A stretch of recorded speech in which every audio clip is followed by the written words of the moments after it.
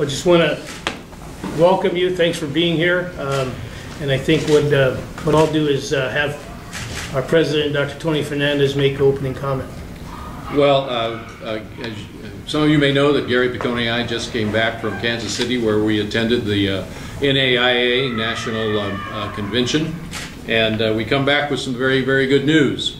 And they will be announcing simultaneously, as we're announcing now, that the National Association of Intercollegiate Athletics uh, has selected Lewis Clark State College in Lewiston to host uh, the Avista uh, NAIA World Series through 2016.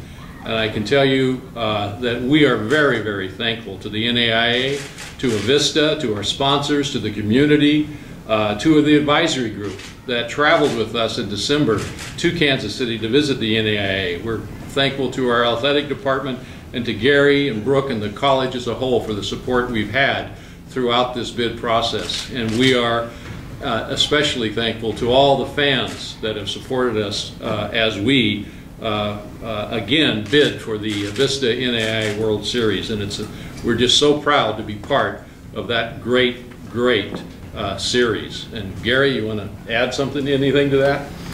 Just that, um, again, I want to be very appreciative of all of the support we got. Um, You know, to me, this is a culmination of about a 15-month effort. Um, I think it was about 15 months ago, we sat here and indicated to you that um, the NAI had made a decision to bid the series again.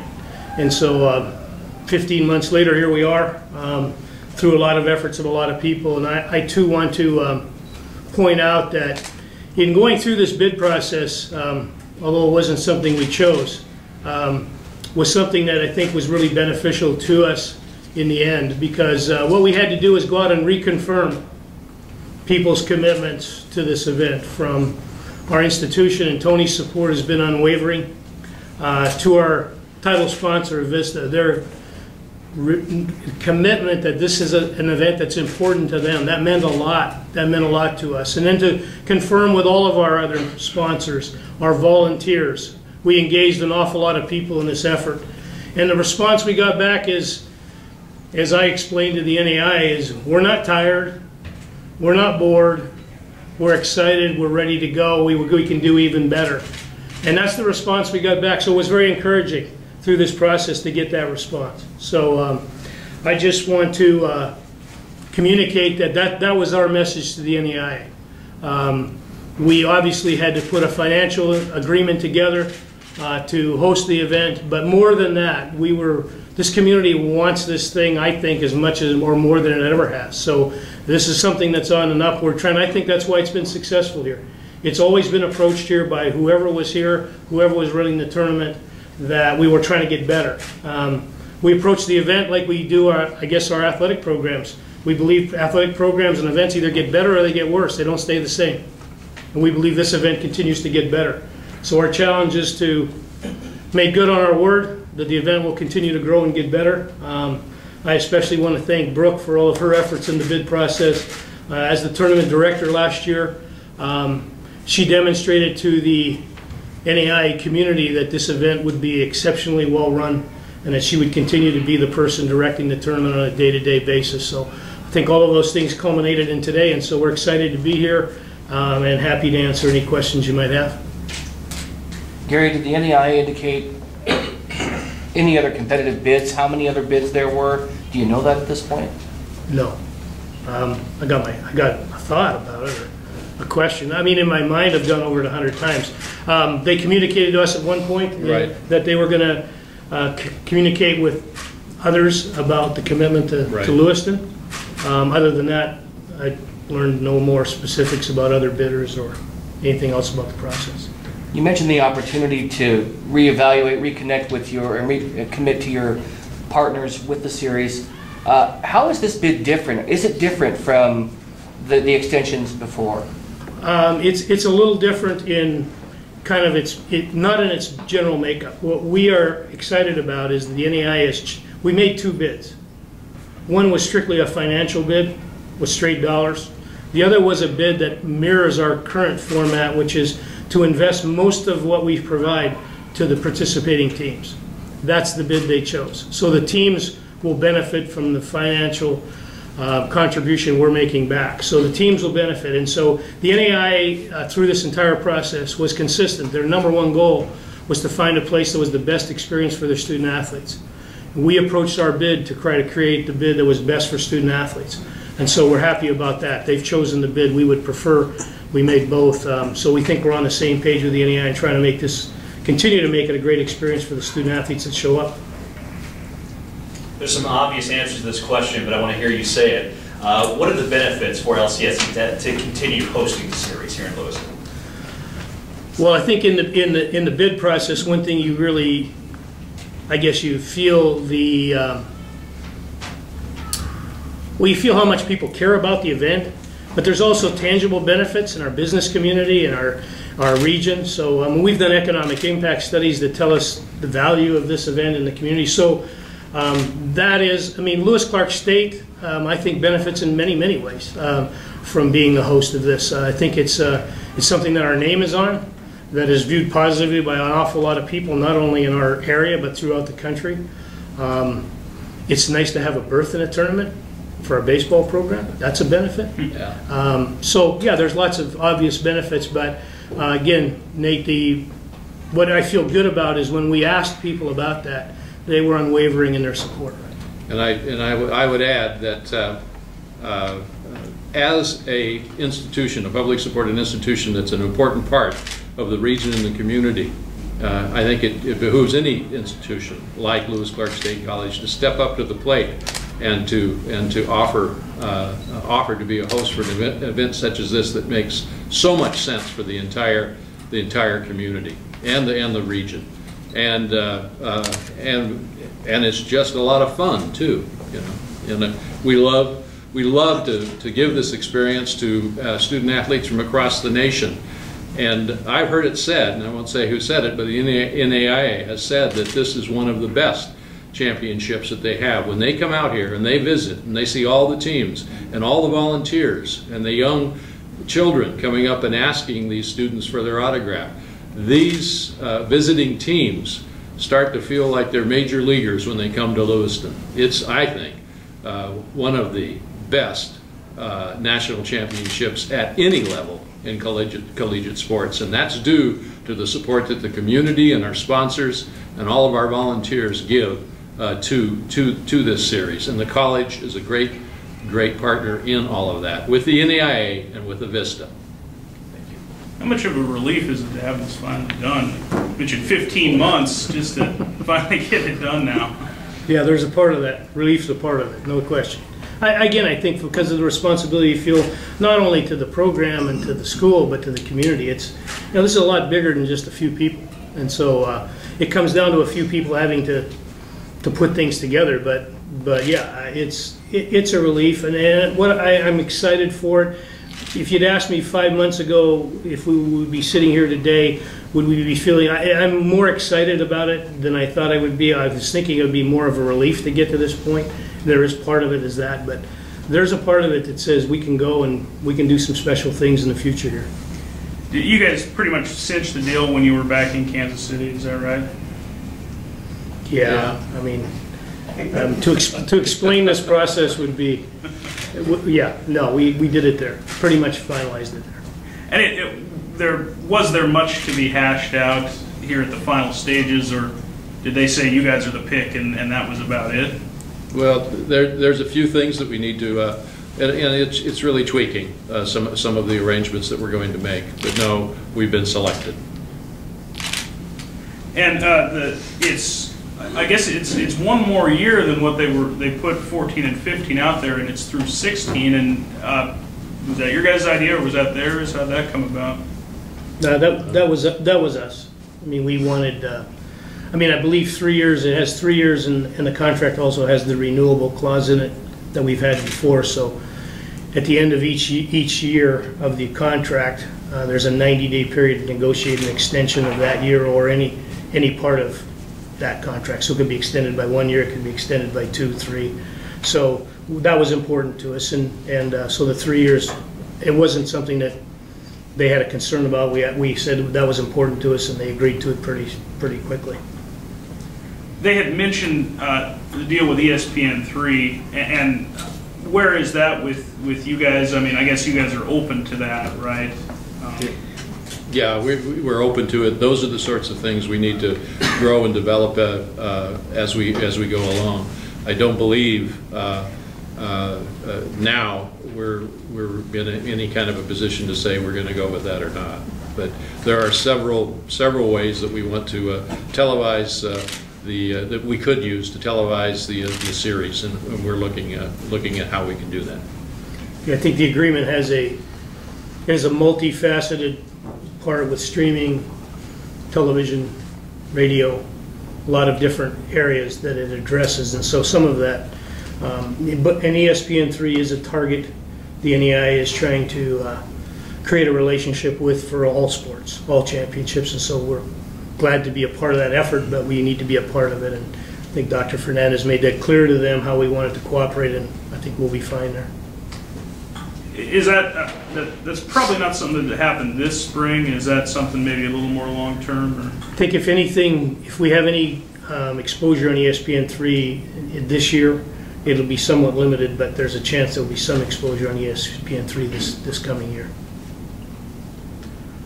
I guess- I mean, you guys were just wrapping this up, but did they give you any idea um, if you, there might be a process like this down the road in in three years? I guess that's three years from now, but uh, did did they talk about that at all, or was No. okay?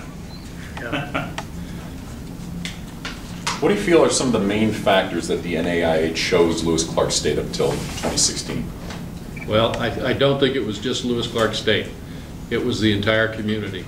I think uh, when they see, uh, when, when uh, some of the officials, the NAIA came here last year for the first time, although some of them had been here uh, several times, uh, they were uh, literally blown away. Uh, They, they had, they have not seen, I think, a championship in the NAIA that has so much involvement, not only with the college, but the entire community, and the sponsors and major corporations in Avista. They were, they were, they're very much impressed with that. Also, the, uh, the advisory group that we put together and that visited Kansas City, and uh, we were supported by Avista tremendously uh, uh, to, to our, in our travel there and uh, local uh, community leaders. When we went there as a college and as a community, more than as a college, and laid out the kind of support that we've gotten by the local press, newspaper, on the air, video streaming, uh, the kind of exposure that these student athletes get at the Avista NAI World Series is something that they have not had in their entire collegiate career, and that impressed the NAIA uh, tremendously. I mean, for, for a week, these student athletes feel like they're in the major leagues. I think too that one thing you have to, as the, as the host, understand about the NEI is they run 19 championships.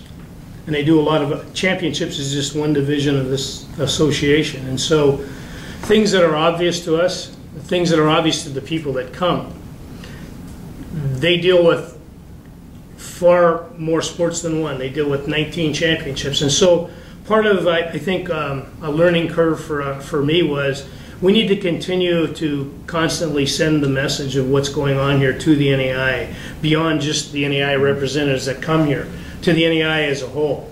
Because I think there's some things about that visit and about that bid and about what we do that's not any different than we've been doing for a long time that, quite frankly, I'm not sure they really understood. So I think the bid process helped us uh, sent, tell that story uh, to more people in the NAI, to more of the decision makers. So I think that was a benefit. Got a question in the back here, I think. Gary, have you hinted, um, mentioned to them about making this a permanent home for the NAI World Series, such as all over the NCAA? Have you mentioned that to them, see if they'd be interested in it? Um, We didn't in this process. We have before. We will again try to, um, in this agreement. Um, If you believe, if you believe in real long-term stability and growth, uh, part of what has to happen is you have to form a strong partnership. And so we're hoping to form that partnership, a stronger partnership with the NEI in this contract, and hopefully as we work through this, we can get to a place where that discussion can take place. But yeah, it's something we've, we've raised before, we'll certainly raise again. Thank you. Can you also speak to agreements in the past, now that we have this new phase going into effect? Can you speak to kind of what changes from, from the, the, you know, the past agreements you've had? Uh, I don't see anything that with what we bid this time of any great change. Um, It's, it's maybe, I would say, uh, a moving along of the same path we've been on, maybe a progression in that same path. Because again, our, everything we pro- provide, almost everything we provide goes directly back to the student athletes. So we're trying to make it better and better for them. So there really isn't any structural changes in what we, what we bid this time. Maybe more talk about like the process of what was involved before and the length of agreements and that sort of thing, as far as what's, is there any difference uh, there that you can speak to? Um, It's kind of a history lesson now, Yeah. Nate. Um, Let's see. I, I, I think every time we have secured the bid in the past, it's the time when we can talk about the length of the contract and the kinds of things Willard mentioned. This is the time. In the next year or two, is this kind, that's the time to, to talk about longevity and, but again, you have to, you have to show growth. Um, So I think, um, I think the NEI was looking for, um, in some ways in this process, looking for Lewis Clark State to reaffirm what it's been doing, but also looking for Lewis Clark State and the community to take a step in a positive direction, and we did that. The bid was the best bid we've ever made. Gary, I'm curious with the NAI and, and hosting the series before and not knowing whether it was going to be extended or not, were there any projects that maybe with regard to Harris Field or the tournament in general that you put on hold that, that would only get done if the contract were extended? And, and what would some of those projects be? Um, Is there anything? You got about an hour, Brian? Um, Yes, is the best answer to your question. Um, And again, that's part, that was part of the bid process when we talked to the NAIA, that obviously the bid is the bid, you submit the bid, it's a package, you turn it in. But in, in our discussion with them about our bid, we talked about, I guess our history tells us, we have always said to the NAIA, the longer you commit to us, the more we'll do to improve the facility, the event in general. So facility projects generally aren't small projects, they're large. I mean, I'll use the lighting project, the last large, only $350,000. You'd like to know you have the tournament for a few years when you're asking people to support that size of a project. So, uh, you know, the kinds of things, I mean, it's always facility-driven and event-driven. And those kinds of things to make the event better, sometimes come at a cost, sometimes they're not a cost, just a different or better way to do them. So, yes, we'll have a long-term plan and we'll present ideas to the NEI about. We'll have some projects that we've talked about trying to get started in the near future as well. Gary, um, you know, in the past, there's been some discussion about the format of the tournament, maybe going to eight teams instead of 10. Can you say, does this agreement leave the tournament through 2016 at a 10-team double elimination tournament as it stands, or is that up for discussion? Um, Early on in the process, I asked that question in the when we were bidding, if, if there was a potential we'd be bidding on something that may change. Um, I was told that um, there would be no change in the, in the term of the initial agreement. So in the next three years, my understanding is that the tournament will, and it speaks specifically to that in the contract, the number of teams and the format. Um, I wouldn't say that precludes the NEI from if they want to make a change. How they've addressed it in the past with us is, anytime they've, they've gone down a path of, a- of perhaps entertaining a change, they've always said, we need, we need to bring the host along with us. So, um, depending on how the change goes, sometimes the change in format could be beneficial to the final site, sometimes it can be more costly. So I think we're in a good place with, it. I think we have a firm agreement on the format, and any change, I feel like we would be part of any discussion of changing that. Thank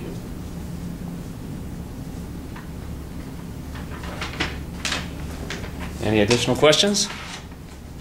Well, I'd, I'd just like to uh, wrap it up, if that, if that's Sure. okay. That, uh, once again, I want to thank everybody that supported uh, the college and the community uh, to, to get the Avista NAIA World Series. And let's make this series, this year, uh, the best one we've ever done.